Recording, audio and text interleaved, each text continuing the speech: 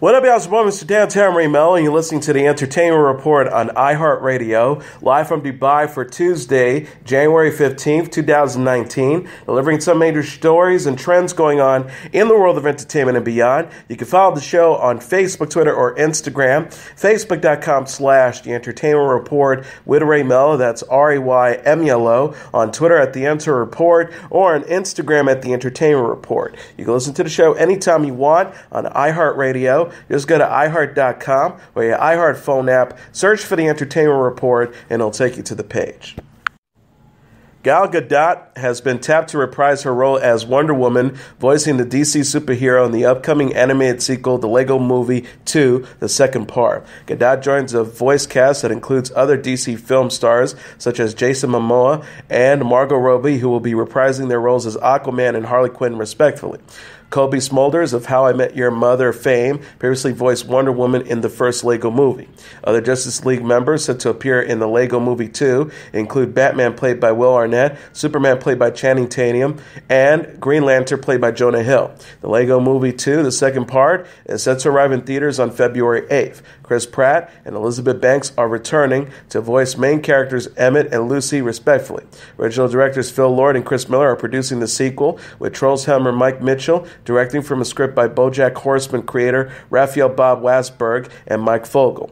Gadot will be seen as Wonder Woman once again in the upcoming live action sequel, Wonder Woman 1984, which is set for release on June 5th, 2020. The actress announced in December that filming had wrapped on the project, which will feature Kristen Wiig as the villainous Cheetah. And speaking of Chris Pratt, he announced on Instagram Monday that he's engaged to his girlfriend, Katherine Schwarzenegger. Pratt says, Sweet Katherine, so happy you said yes. I'm thrilled to be marrying you. Alongside a photo of himself kissing Schwarzenegger on the side of her face while her engagement ring is on display. He continued, proud to live boldly in faith with you. Here we go. Pratt and Schwarzenegger, the daughter of Arnold Schwarzenegger and Maria Shriver, have been linked together since June. The actor made their relationship Instagram official in December. Pratt was previously married to Anna Faris for eight years before they called it quits in August 2017. Pratt and Faris agreed to live near each other as part of their divorce settlement as they co parent their six year old son, Jack. The Americans alum Matthew Rhys is set to star in a new version of the TV drama Perry Mason. Executive producer Robert Downey Jr. announced Monday. Uh, Downey Jr. tweeted, Now it seems to me the place to start is at the beginning, Perry Mason. And what it seems to me the beginning of any great project is casting my new best friend Matthew Rhys, uh, Robert Downey Jr., executive producer. Uh, the post included a image of the screenplay cover page with Rhys' name embezzled across it. The photo revealed the script was, was which was written by Rolin Jones and Ron Fitzgerald. The synopsis from the network says 1932 Los Angeles. While the rest of the country recovers from the Great Depression, this city is booming. Oil, Olympic Games, talking pictures of evangelical fervor, and a child kidnapping gone very, very wrong. Based on characters created by Erle Stanley Gardner, this limited series follows the origins of America's fiction's most legendary criminal defense lawyer, Perry Mason. When the case of the decade breaks down in his door, Mason's relentless pursuit of the truth reveals a fracture, city, and just maybe a pathway to redemption for himself. Rhys won the Critics' Choice Award for Best Actor Sunday for his performance in the American Americans, which wrapped its sixth and final season in May. Downey Jr. is an actor best known for his work in the Avengers film franchise. He is also a prolific producer alongside his wife, Susan. The original Perry Mason series ran from 1957 to 1966 and starred Raymond Burr as the title character. Glass castmate James McAvoy signed on to guest host the January 26th edition of Saturday Night Live NBC announced Monday. Rapper Meek Mill will provide the musical entertainment for the episode. Rachel Brosnahan, who won the Critics' Choice Award for Best Actress in a Comedy on Sunday for her portrayal of a 1950s stand-up comedian in Amazon's The Marvelous Mrs. Maisel, is set to host SNL this week. This weekend, Greta Van Fleet will be the musical guest on Saturday. Star Trek Discovery co star Michelle Yeoh is getting her own spin off, CBS All Access said Monday. The as yet untitled sci fi drama will expand on Yeoh's current role as Philippa Georgiou. Georgiou, a member of Starfleet's Section 31 Division, a shadow organization within the Federation. He always said in his statement, I'm so excited to continue telling these rich Star Trek stories. Being a part of this universe and this character specifically has been such a joy for me to play. I can't wait to see where it all goes. Certainly, I believe it will go no where no woman has ever gone before. Co-starring Sonequa Martin Green, Anthony Rapp, Jason Isaacs, and Doug Jones, season two of Discovery is to begin streaming Thursday. CBS All Access announced in October that it had ordered two seasons of an animated Star Trek comedy series called Below Decks. Yeoh's blockbuster movie, Crazy Rich Asians, won the Critics' Choice Awards for Best Comedy Sunday night. Ratched producer Ryan Murphy announced on Instagram Monday that Cynthia Nixon and Sharon Stone have joined the cast of his Netflix drama. Set in 1947, the prequel to One Flew Over the Cuckoo's Nest is scheduled to begin filming this month. It is the origin story of the titular tyrannical nurse. Murphy wrote, On behalf of myself and Miss Sarah Catherine Paulson, who plays the title role and is also a big fancy producer on it, we are thrilled to announce our amazing cast, a true murderer's row of talent. He added, So many of these actors are supremely talented folks who Sarah and I have both longed to work with. The Ratched principal players in, in alphabetical order Jon Jon Briones, Charlie Carver, Judy Davis, Harriet Harris, Cynthia Nixon, Hunter Parrish, Amanda Plummer, Corey Stoll, Sharon Stone, and Finn Wittrock. More to come, but come on, Sarah, Cynthia, Judy, Amanda, and Sharon all doing scenes together. I can't wait. The two season, 18 episode project was announced more than a year ago. Louise Fletcher won an Oscar for her portrayal of Nurse Ratched in 1975's Cuckoo Nest, which co starred Jack Nicholson and was produced by Michael Douglas. Oscar winning actress Brie Larson has split up with her fiance, Phantom Planet frontman Alex Greenwald. Larson and Greenwald were a couple for more than five years, announced their engagement in May 2016. But E! News said Friday they recently called off their wedding plans. People.com quoted as an unnamed source is saying they have taken a step back from their engagement from the time being, but they remain close. No reason for the breakup was reported. Venom star Tom Hardy is a dad of three. People report Saturday the 41 year old British actor recently welcomed another child with his wife, actress Charlotte Riley. E! News confirmed the news the same day. Hardy welcomed his first child with Riley in 2015 and is also parents to 10 year old son Louis with Rachel Speed. He discussed fatherhood in an interview with Esquire in July.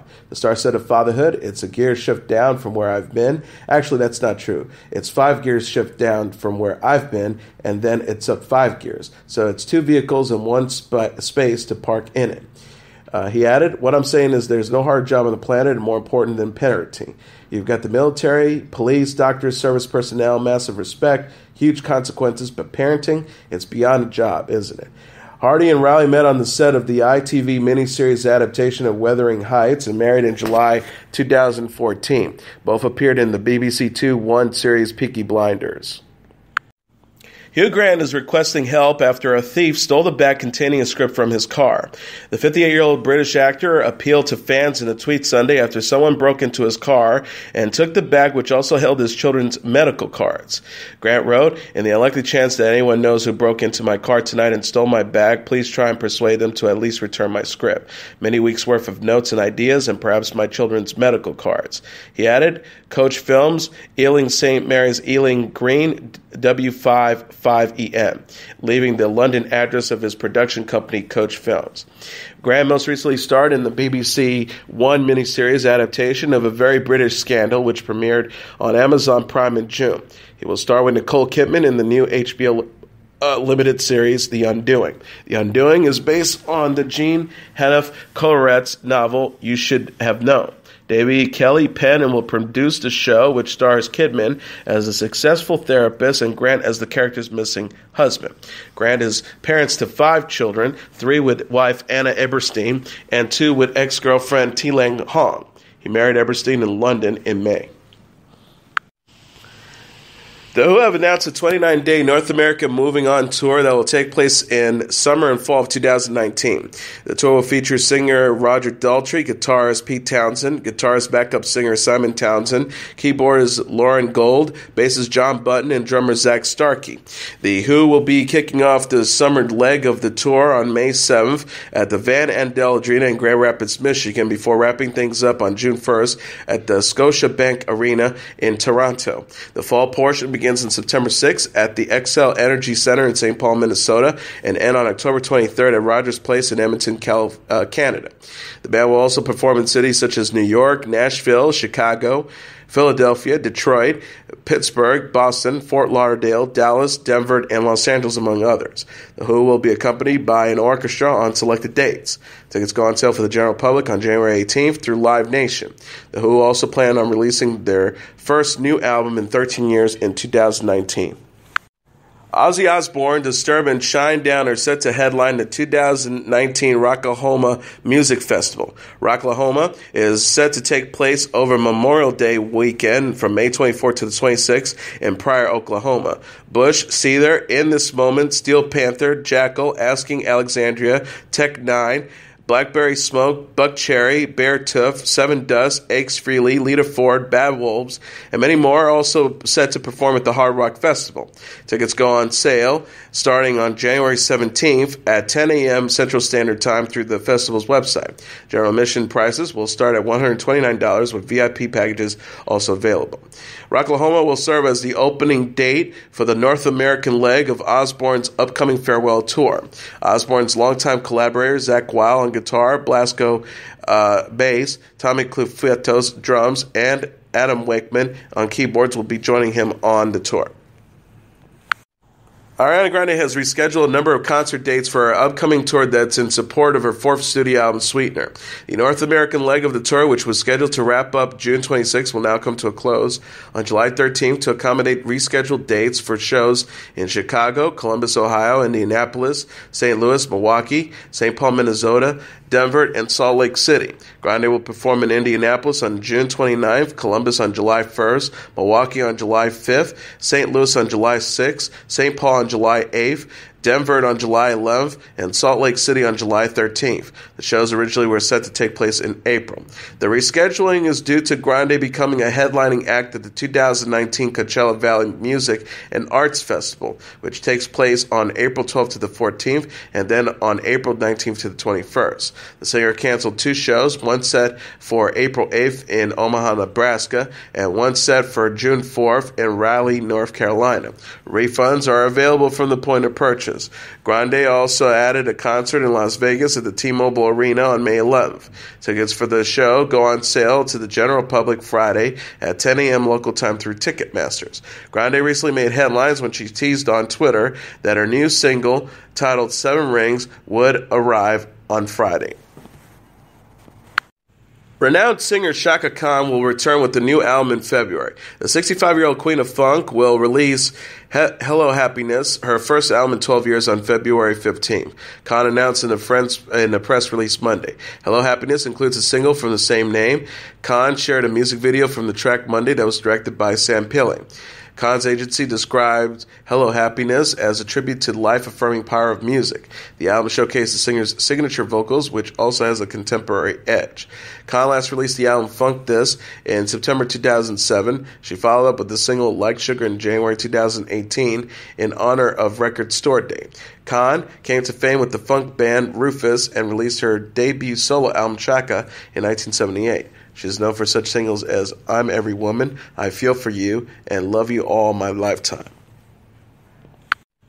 And now let's take a look at what happened on this date in entertainment history. On this date in 1972, American Pie hits number one on the pop charts. American Pie, an epic poem in musical form that has been etched in the American popular consciousness, hit number one on this date on the Billboard charts. The story of Don McLean's uh, magnum opus began almost 13 years before its release, on a date with significance well known to any American who was alive and conscious at the time. Tuesday, February 3rd, 1959, was the date of the plane crash that killed Buddy Holly, Ritchie Valens, and the J.P. the Big Bopper Richardson, a date that would be imbued with a trans, uh, transcendent meaning by Don McLean when he labeled it the day the music died.